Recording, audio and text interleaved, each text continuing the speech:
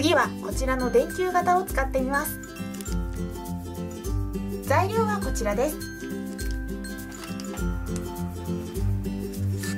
ワイヤーを適当な長さにカットします。このワイヤーを爪楊枝に巻きつけます。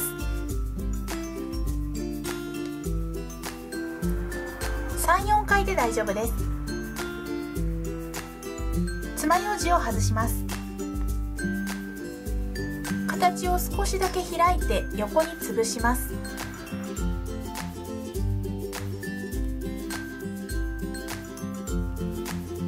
電球と大きさを合わせておきます。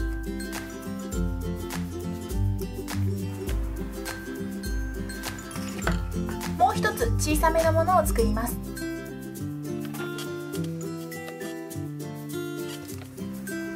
透明なレジン液をこちらの型いっぱいまで入れます。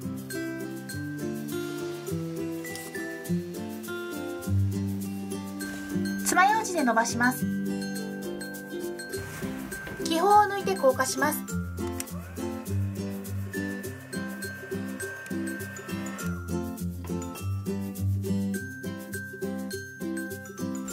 反対側の型に透明なレジン液を8割くらいまで入れます。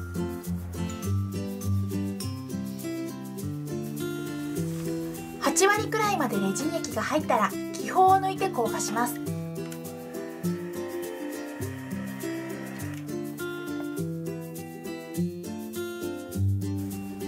8割くらいまでレジン液を入れた方に黄色のレジン液をいっぱいまで入れます。爪楊枝で広げます。ラメパウダーを少し混ぜます。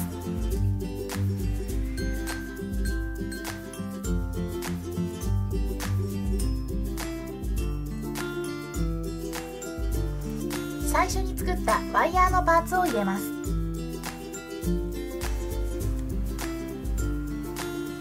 配置を整えます。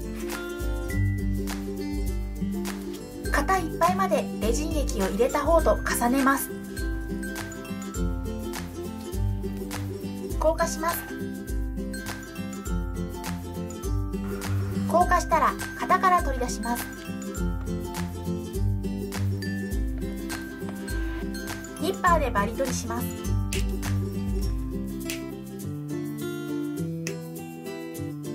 細かいバリをヤスリで削って落とします。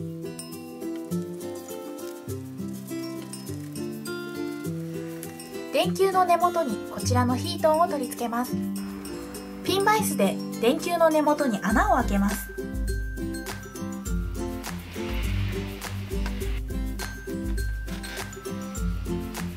大きい方にも同じように穴を開けます。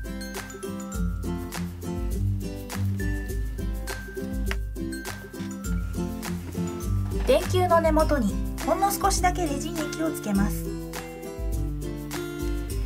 そこにヒートンをねじ込みます。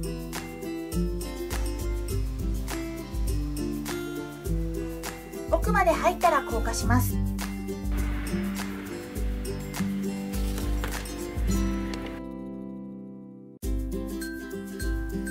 完成です。中のホログラムが拡大されてとってもキラキラして見えます。表面はあまり綺麗に仕上がりませんでした。ちょっとくすんだような感じになっています。こんな感じでストラップにしたりできそうです。